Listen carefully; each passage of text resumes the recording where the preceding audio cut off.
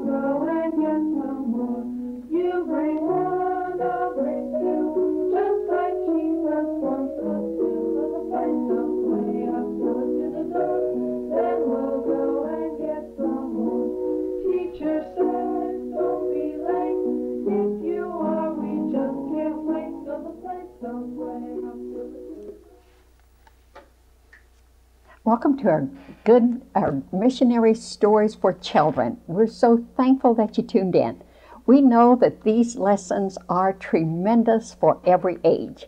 Although we call them for children, they are for everyone. And we are rejoicing in this great lesson on Nathan of Jerusalem. What a blessing this story is, and to teach us how boys can learn to love the way that we should learn to love. This is the most exciting story, and it is about a little boy that lived in the America, and his grandparents came to see him. Now, this is Nathan. They came to see him, and they stayed for a whole year. When the time came for him to leave, though, he wept, and he told him not to be ashamed of tears, his grandfather did, because he was weeping also. So his grandfather told him before he left that he has a real secret for him.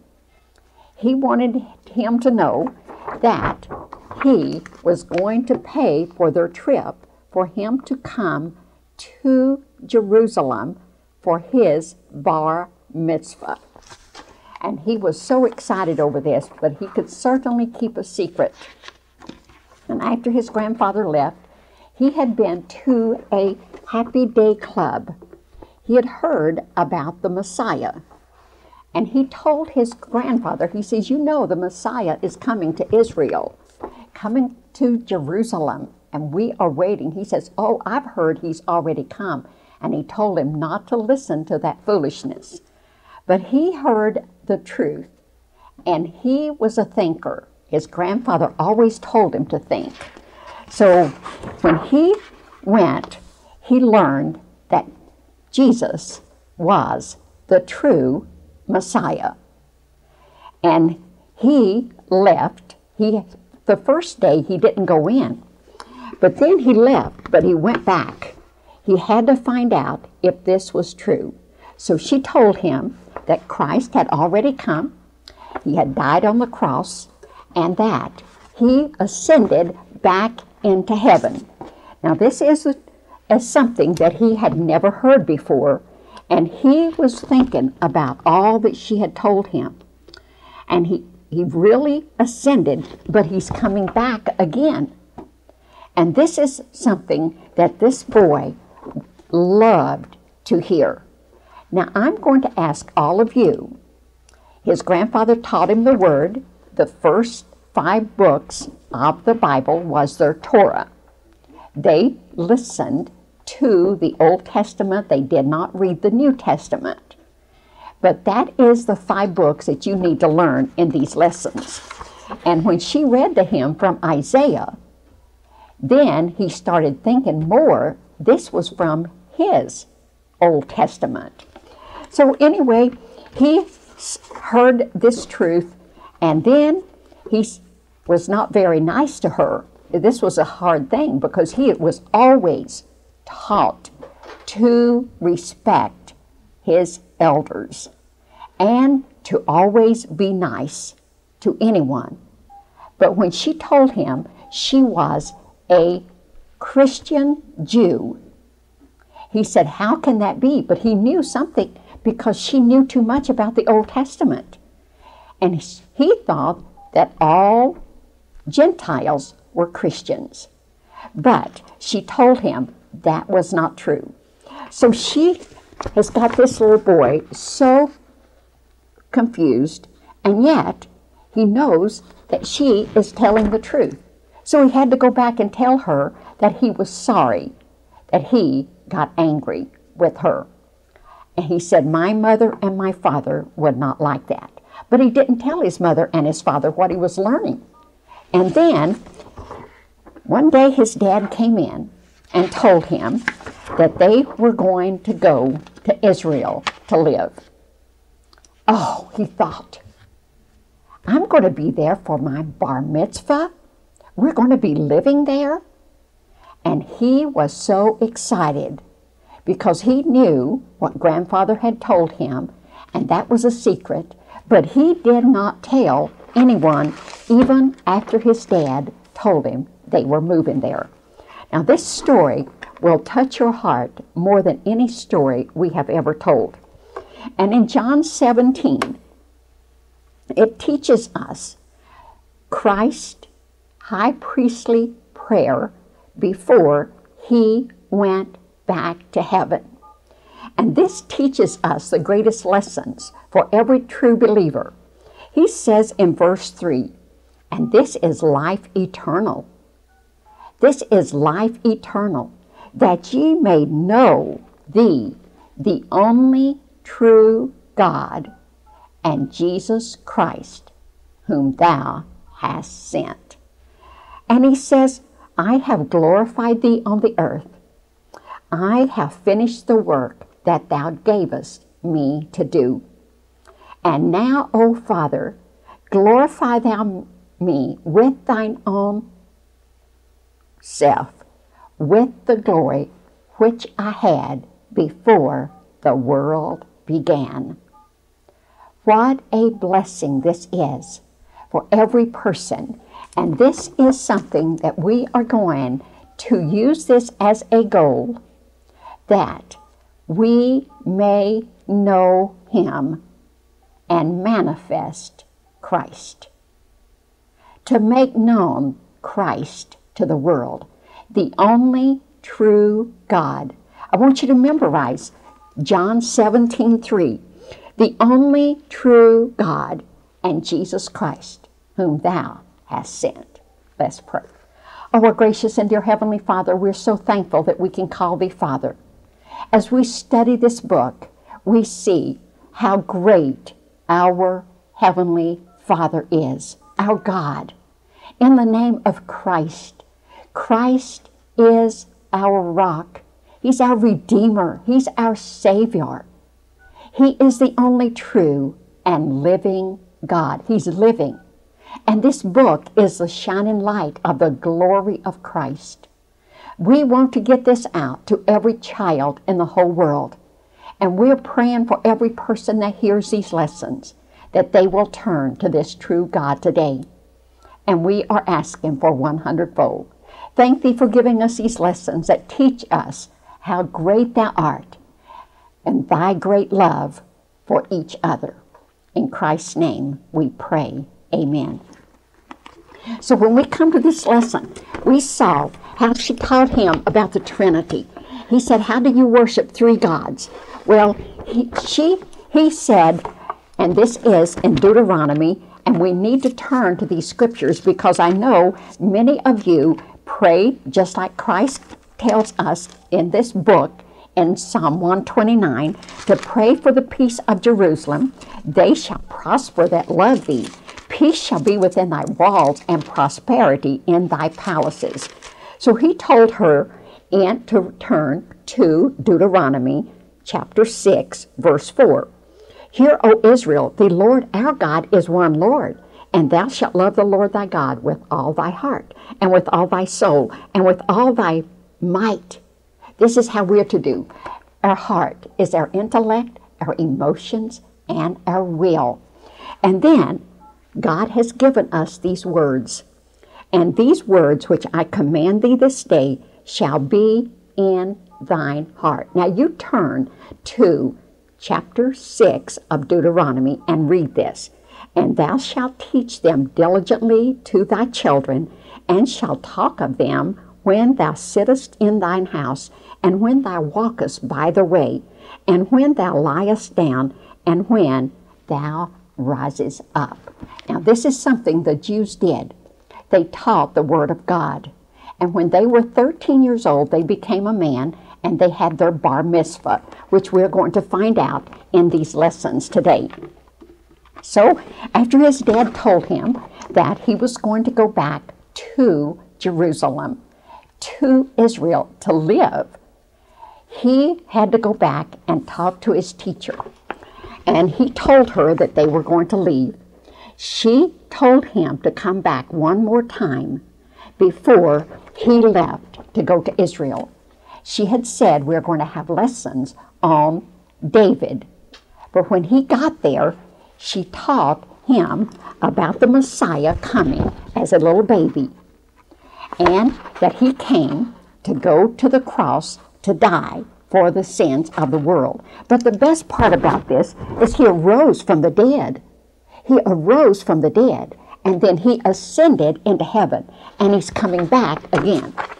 So she asked if anyone wanted to receive Christ that day. And something started stirring in his heart. He really wanted to, but he said, Oh, I couldn't. I couldn't. I couldn't because my grandfather. I couldn't. So he slipped out while she was praying. And she didn't see him again before he left, but she still prayed for him. So the day came when they got on the plane to go to Israel. Oh, how excited this was for him. He sat by the window, and all he could think about was having his bar mitzvah at the Wailing Wall in Jerusalem. Oh, how excited that was for him. He wanted this to happen because his grandfather had already told him it was going to. So they ate on the plane. They had, of course, kosher food, which they, the Jews, eat kosher food.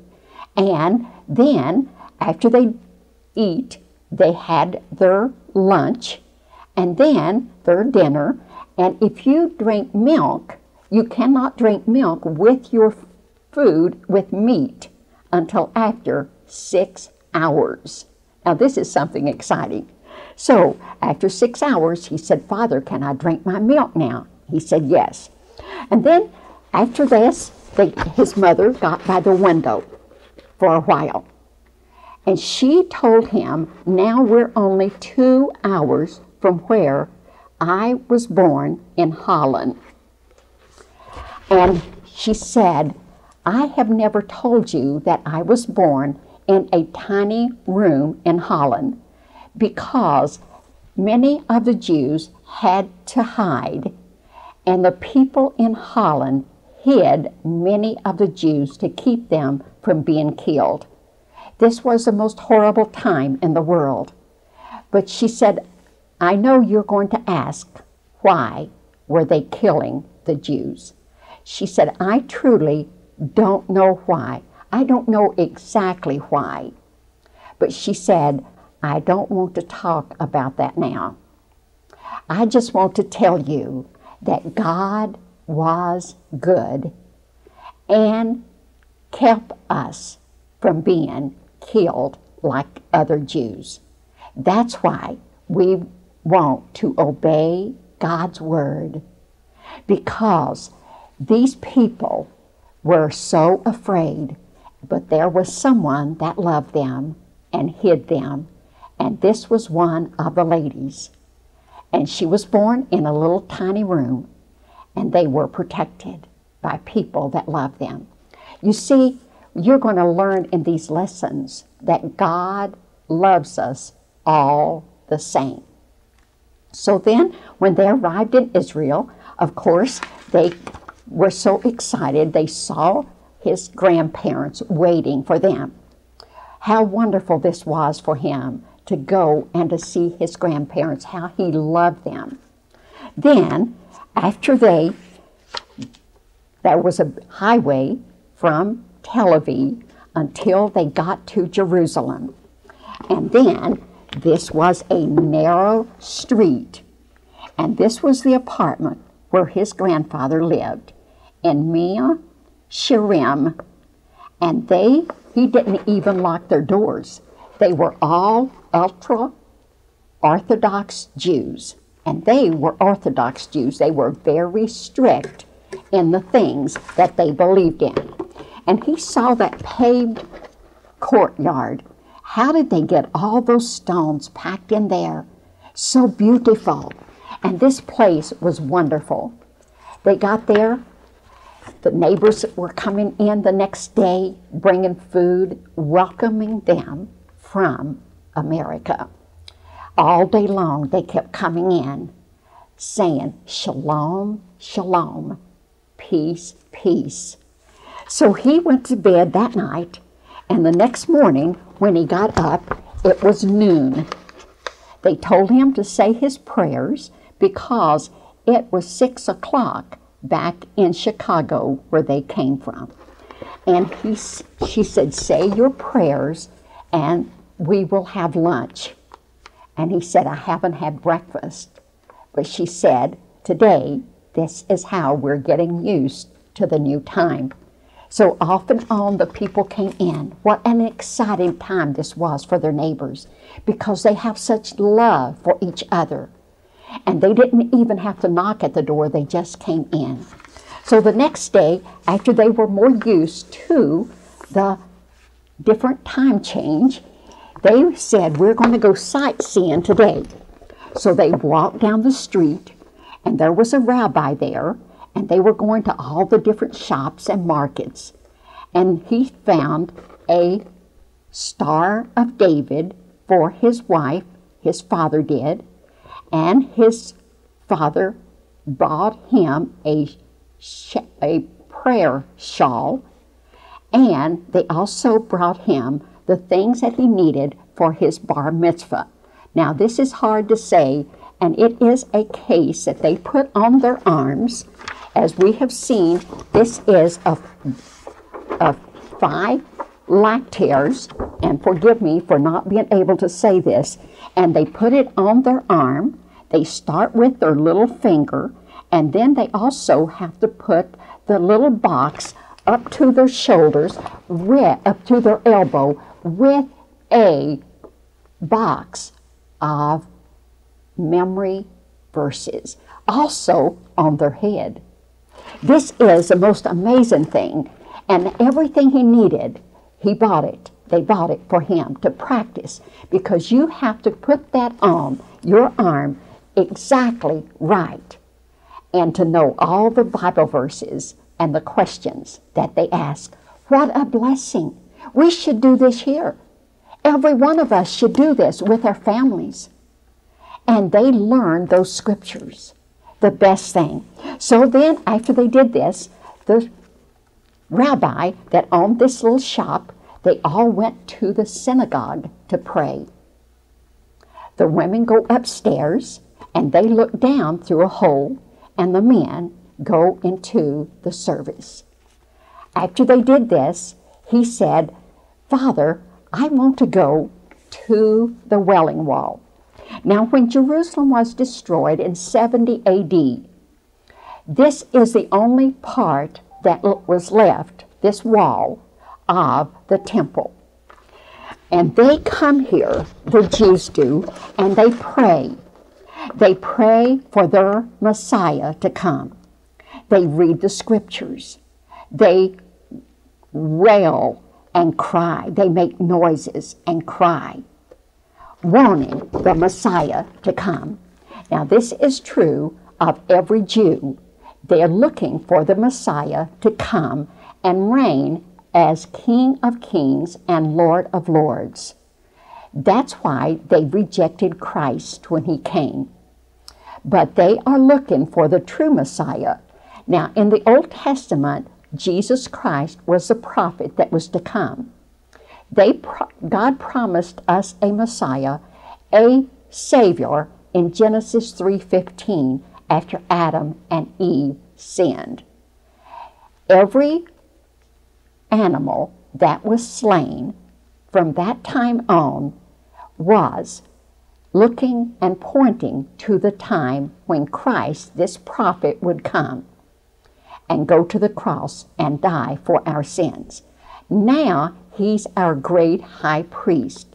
Christ is the prophet, priest, and king and he is going to reign as king. That's why today we must pray in Christ's name because we cannot get to the Father except through Christ. So they go to the Wailing Wall and they pray. So his father and his grandfather left to go to look at the apartments that they had seen, wanting to see if this is where they were going to live. So he said, May I stay, Father? May I stay? And his grandfather said, Let him stay. He will be all right. You know, their place where they lived was just as safe as any place on the earth. And he met a little friend. As soon as he was had stopped, he met this little friend. And he said to him, and they started talking right away. This little friend, he said, Hello. He said, I would like to be your friend. And Nathan, he couldn't believe this. He said, Oh, he said, I need a friend. I just came here from America and I have no friends. The only people I have are my family that is here. And he said, when he first said, hello, shalom, shalom, that is the first way you meet anybody. And as, as a Jew, that means peace, peace. So he said, peace, he said, shalom, shalom. And this little boy, he didn't know his name yet, he said, I say, Ale, M A A K. Now, I cannot pronounce this, so I don't want to offend anyone, which means God with us. And so he, as he said this, it's the most amazing thing that he, this is how they believe because God be with you is what, he, what he's saying to him. And when he said, I would like to be your friend, this is what he told him. And then he said to the little boy, he reached out, Nathan did, to shake his hands. And he reached out and shook his hand. And then he said, This is where I live, right over there. We don't have a front door, we go in the back door because when the Jews started coming to the Wailing Wall to pray, we didn't want to offend them, so we go in the back way. And this thrilled him to death. He says, We respect their religion. Tears came down Nathan's eyes. Again, he held out his hand and shook the hands of this little Arab boy. And they, he said, My name is Ali Joseph. And he said, My name is Nathan David. I'll look for you when I come again. He said, I am going to have my bar mitzvah here. I want you to come. Once again, this was so kind of these two. The very first time they met, there was something about them that they loved each other. Now, it doesn't matter if you are a Jew, if you are a Gentile, if you are an Arab, we are to love the same way every day. These two boys are teaching us how to live, that God loves everyone. So he said, there, There's two men looking. Are they looking for you? He said, Yes, that's my father and my grandfather. They are looking for an apartment. And then they went home. When they went home, his, he said to his mother, now his mother and his grandmother had been out looking themselves, and the men were going to do other things. And he said, Grandmother, can I go outside? I will stay in the courtyard. So I will hear you call me when you have dinner ready. So when he went outside, he heard a child crying, and he looked up on the veranda. And when he looked up, he saw this mother putting this little boy on this stool, and this man cutting his hair. And the mother then began crying, and they cut all of his hair off. He kept the locks, the four locks, like we showed you that his grandfather wears, and He was crying because he didn't want his hair to be cut. And she said, the mother did, Now you are three years old, you become a real Jew. Oh, Nathan's mind is going crazy. What all of the things that he had learned, what things, why do they do these things? Everybody is different. Everybody does something different. But God loves them all the same. This is the most important thing you can ever learn from these lessons. You do not look from the outside of people. God looks on the heart. And every person has a soul, and it is the blood that makes an atonement for our souls. So while they were eating dinner that night, all he could see was the apartment that they were wanting to look at. He saw this apartment building. Oh, how he thought, I want to live there. It's close to the Wailing Wall and it's close to Ali. Already they have a bond that every true person needs. This is what we're going to learn in these lessons. The great bond of Jew and Arab, Gentile, everyone loving the way God loves us. And you know, He is no respecter of persons. So after they had, had eaten, the, his father and his mother went to look at the apartments. And his grandfather said, We are going to practice, and I'm going to teach you the lessons. So this is what he did. He was beginning to see all of the things that he needed to know for his bar mitzvah when he was 13 years old. Oh, the joy of giving out the word to you people today. There is no greater joy on earth. And I'm praying that through all these lessons that you will memorize John 17 and see what Christ did for us before he went to the cross to tell us the riches that we have in being his child. This is the greatest that, that we that this we may make known and manifest Christ. If ye are of the world, the world would love you his own. But because you're not of the world, but I have chosen you out of the world, therefore the world hates you. You must, this is John 17, and this is, this was John 15, verse 19.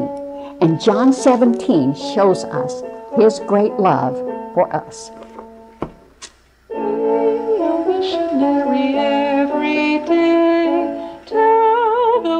Jesus is the way, be it in the town or country or the busy avenue, task is up to you. Be a missionary every day. Tell the world that Jesus is the way. The Lord is soon returning. There is no time for losing. So be a missionary, God's own emissary. Be a missionary